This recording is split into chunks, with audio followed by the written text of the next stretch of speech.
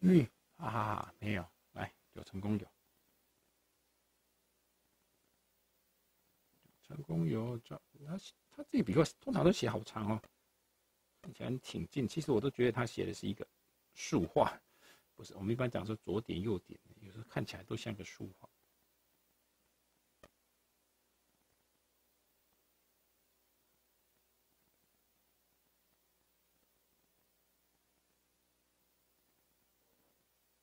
这左右都不连啊！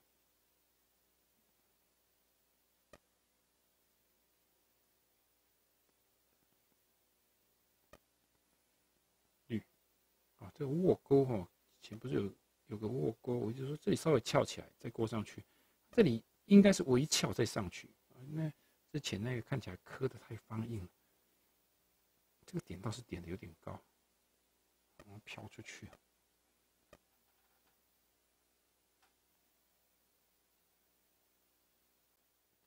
则哎没有，九成功有，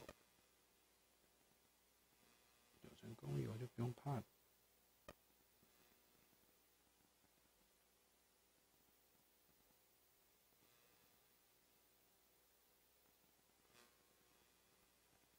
下来这穿出去哦，这笔画是有穿出，这故意的，这里是不粘住的哦。他们很巧妙的运一些运用一些。有时候穿出去，有时候不粘住，所以它字就会有韵味。它并没有公式啊，不是说每次都这样，而是有时候会这样，有时候那样子，所以字就看起来很丰富啊。白白没有，这个白比较轻，它有出现两个白，一个比较重，一个比较轻。书法家就这样子，不会套套公式啊，自己写自己的公式。我们像我们想说一定怎么写，哪有一定怎么写？他自己写每次嘛不一样。但是整体的气氛是一样的哈，就是每个人的调性一定在，但是它会改变一些小地方。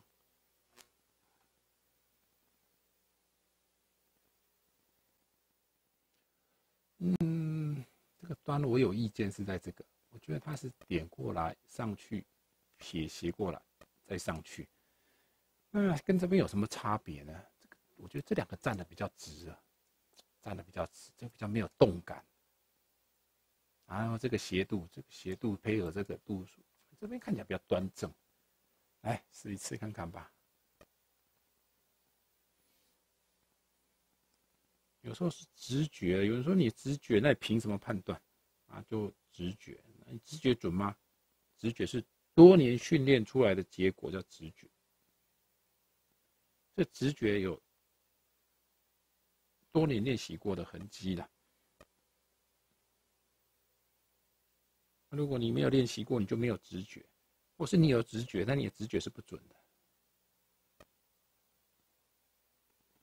所以老鸟的直觉很准，并不是因为他随便判断，而是他已经经过严格的训练，他脑中就有一套常识。而这常识，当他遇到的时候，他会发现不对劲，这不应该这样。那你只要问他为什么，那他只哪知道？他学过那么多了。到底什么时候有这这种感觉的？他也不知道，因为他太多东西组合而成。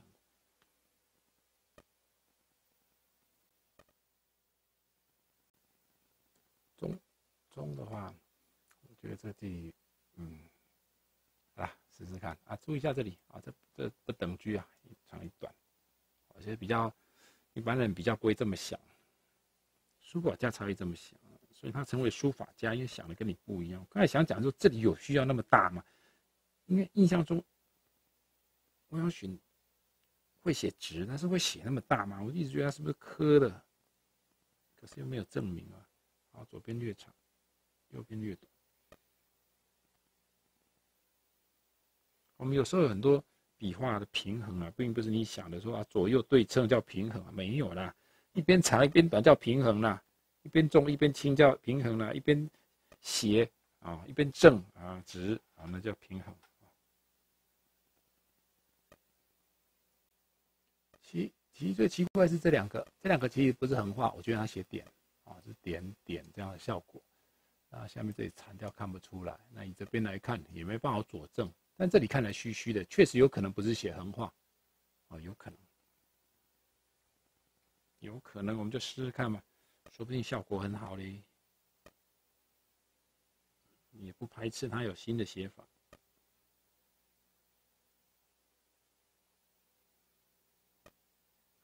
我刚才说点的意思，说他是这样过来就这样过来，为什么要这样过来？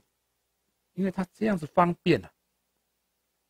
我们在写字的时候，就这跟写两个横画，那个叫手势的问题，那觉得好像这样还蛮方便的。也许当下就这么想，因为当时写的很小啦，他可能没考虑这么多，他也没想到你会在几百年后临他的字，他没想过。完全模糊，我们看这个，看这个，啊，这是九成功的，嗯，还好了，没有差太多。其实我最不喜欢是因为它下面这里粘太紧，没想到这里也是粘太紧，靠得好近。好了，试试看。嗯。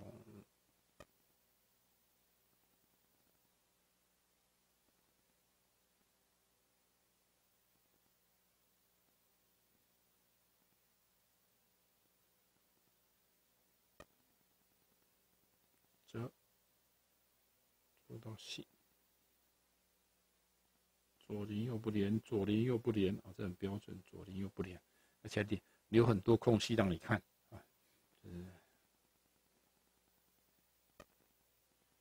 然后，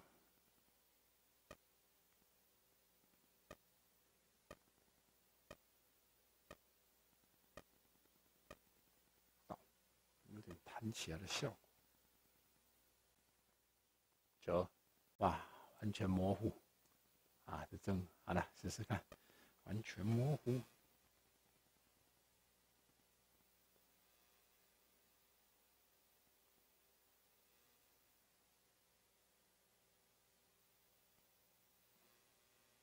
出到西，送到底，折穿透出去，嗯，它这边是粘好。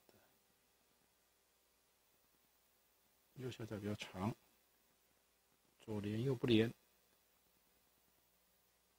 连好。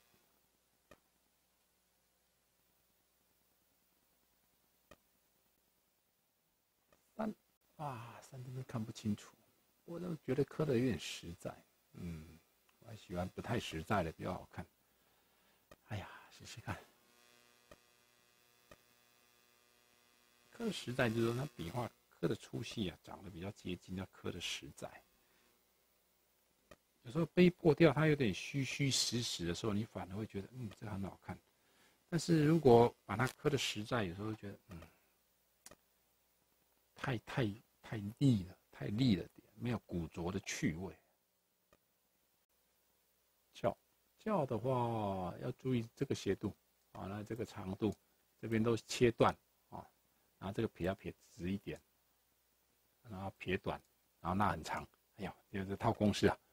啊，自己写字就这样子啊，东套一个公式，西套一个公式，组合起来最好的样子就是最好的公式。那公式可以不可以改？公式可以改啊，有时候因为某种目的而改。